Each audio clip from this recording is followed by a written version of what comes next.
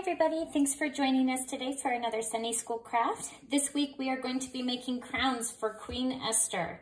Um, so this is a really simple craft, but sometimes the simple ones are the most fun because you can be super creative.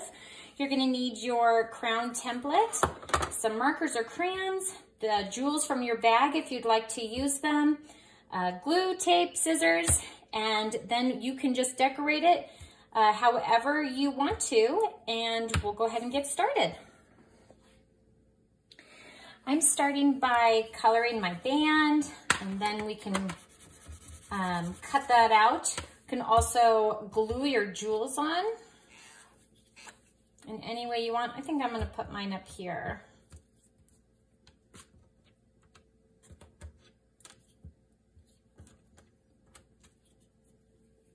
I'm really excited to see what everybody comes up with. I hope that you'll share them with us so we can see all the different designs. We make some stars. I think they're fun. After you are done decorating, you're gonna go ahead and cut out your crayon and the bands, and I'll show you how to put those together when you're done.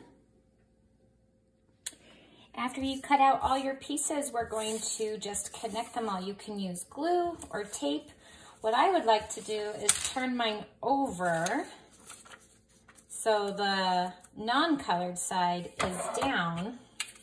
I'm gonna use tape because it's the fastest. And then you're just going to connect the end to the end on both sides. Maybe.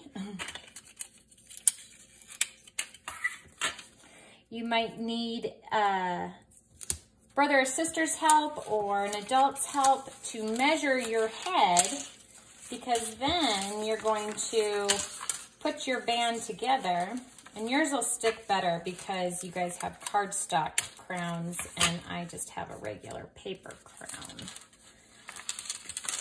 But then you'll be able to wear your crown. Mine's not sticking up, but yours will. And then you can wear it. We're gonna end in prayer today, so if you'll Fold your hands or open your palms, cross your arms, however you feel close to God, and go ahead and bow your head with me. Dear Lord, thank you for giving us examples of courage to follow. Help us to be brave and to always do the right thing. In Jesus' name we pray. Amen.